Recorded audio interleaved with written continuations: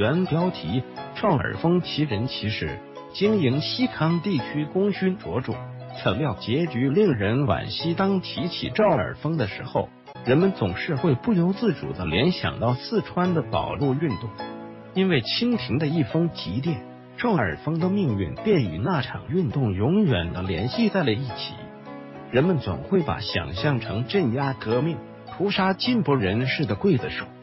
其实，相比于晚清身在北京的那些指挥政权独立的官员，赵尔丰这个人对国家是有很大贡献的。零一道元的平编之策，赵尔丰是山东泰安人，生于一八四五年。他是一个官宦之家，他父亲和三个兄弟都是进士及第，是正途出身的官员。他的哥哥赵尔巽后来当了东三省总督。但是赵尔丰却与科举无缘，多次参见科举考试都名落孙山。后来家里出钱给他买了一个职位，称为纳捐，开始在广东任职。此后辗转几个县任县令。赵尔丰虽然科举考试不行，但是当官却是一把好手。任县令期间，作风强悍，雷厉风行，决策果断。这个晚清那些只会推诿扯皮、贪污腐败的官员形成鲜明对比。官场上想要获得提拔，能力当然很重要，但是比能力更重要的就是各种错综复杂的关系了。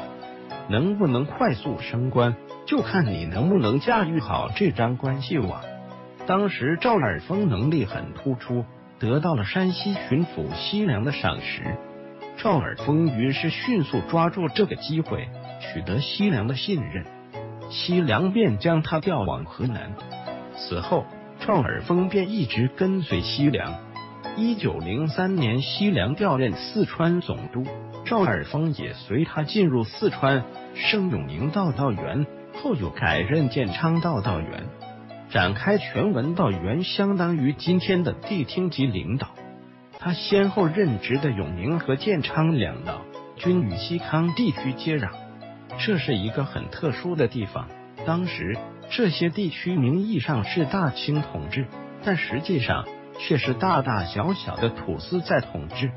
这些地区土司的管理很混乱，大小土司为了争夺地盘互相厮杀，中央政府的政令对他们根本没有约束力。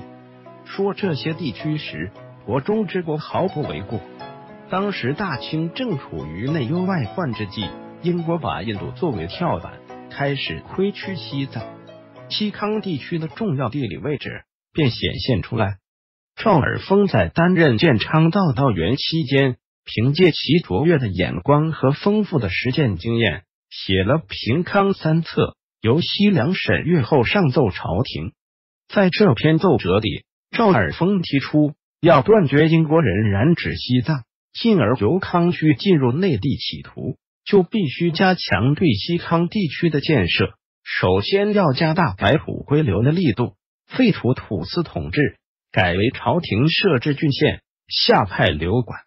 其次是建立西康省，并设立西三省：西康、四川、西藏总督。如此，可见以度英人之觊觎，兼之达赖之外附。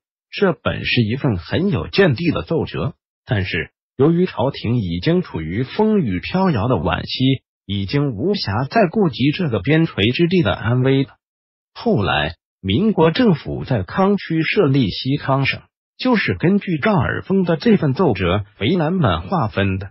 零二，包围桑。批次一九零五年，在西康爆发了凤泉事件。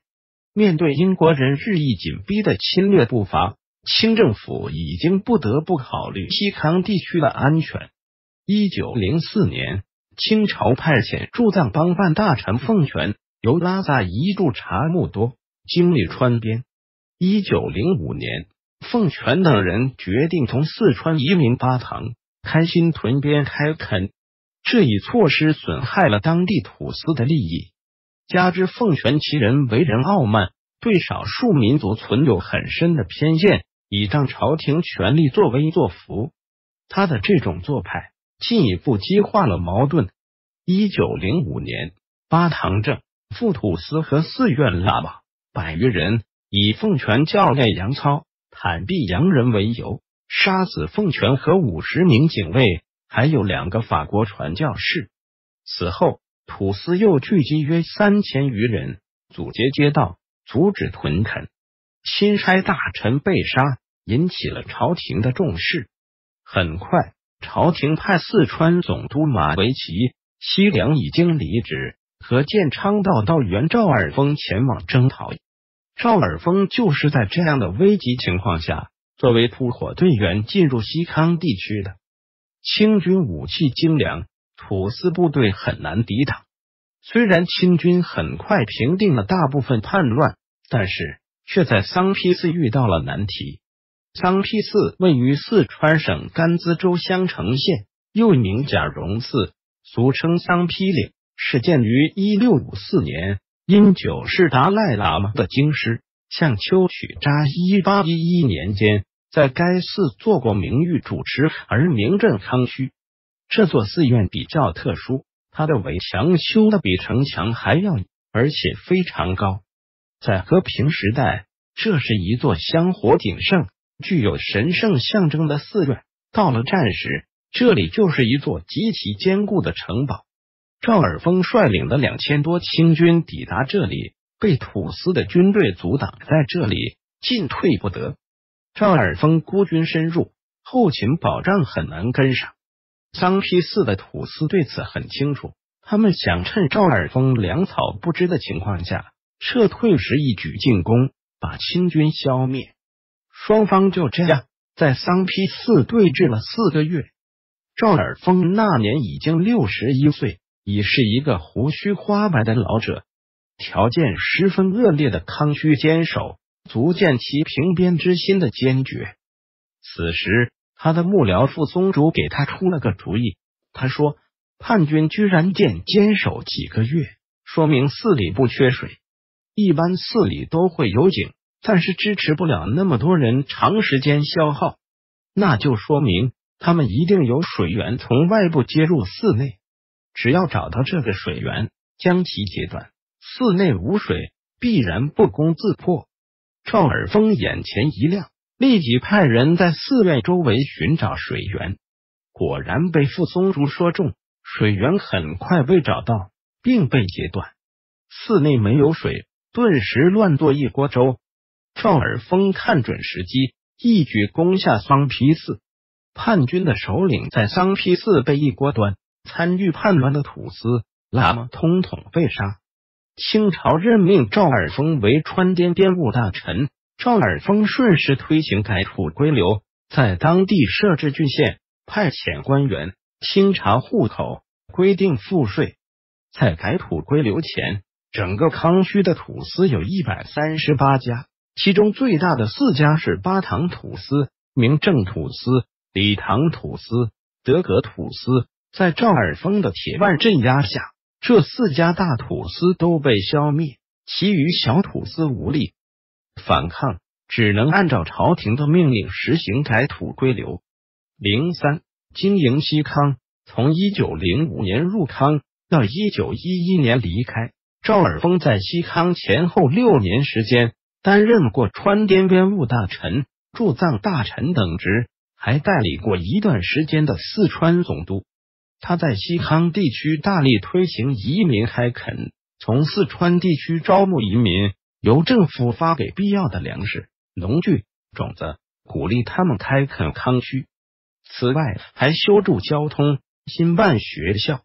此外，他一改土司时代的奴役做法，在民众中灌输平等思想，这在当时是非常难得的。他曾发布公告说：“现汉民与藏民已一律平等，藏民与藏民岂有不平等之理？”尔等不明此意，遂自认系土司之百姓，已属糊涂。更有为为系喇嘛的百姓，尤为不明事理。喇嘛是出家僧人，家都不应有，又安有百姓？这对当地人民来说，无疑是具有进步意义的。此外，赵尔丰还推行自治政策，即在村落聚集地区推举一位头人负责管理村中事务，头人的报酬由村民自发筹集，头人三年一选，称职的可以连任，不称职的村民可以撤换重选。这应该是中国最早的自治实践了吧？零四，假如他没有到四川赴任，结果会如何？一九零八年二月，赵尔丰的哥哥赵尔巽接任四川总督，赵尔丰被任命为驻藏大臣，但仍然兼任川滇边务大臣。一九一一年四月，赵尔巽调任东三省总督，赵尔丰接替哥哥担任四川总督。接到调令后，他很不情愿离开康区。害怕他在当地推行的政策被继任者否定，为了稳妥起见，他向朝廷举荐他的幕僚傅松竹接替他。直到朝廷同意了他的举荐，他才启程前往成都。八月二日，赵尔丰抵达成都。此时，四川的保路运动处于高涨期，形势如火如荼。朝廷要求赵尔丰尽快镇压动乱。赵尔丰抓捕了蒲殿俊、罗伦等头目。消息传出后，民众纷纷前往总督府请愿。期间，卫兵与民众产生摩擦，卫兵开枪镇压，酿成了成都血案。紧接着，十月十日，武昌起义爆发，朝廷对赵尔丰的表现极为不满，免掉了他四川总督的职务。十一月二十二日和二十五日，革命军。在成都召开四川官绅代表大会，宣布脱离朝廷独立，成立大汉四川军政府。十二月二十二日凌晨，时任大汉四川军政府军事部长的尹昌衡带领所部将已经卸任总督的赵尔丰抓了起来，并在明远楼将其杀害，享年六十六岁。站在今天的角度，再回过头来看赵尔丰的一生。着实让人嗟叹。他对西康地区的经营，对国家的统一是有很大积极意义的。只因他镇压过保路运动，便被钉在耻辱柱上，而他的那些功劳也就被历史淹没，被人们有意无意的遗忘了。后人在评说赵尔丰时，曾说赵本人一名敏廉洁，办事公正，犯法者虽近亲不稍恕。康人多信服之。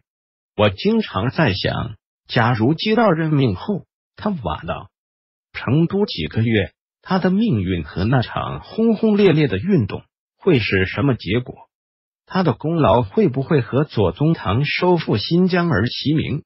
这只是假设，无法证实了。返回搜狐，查看更多责任编辑。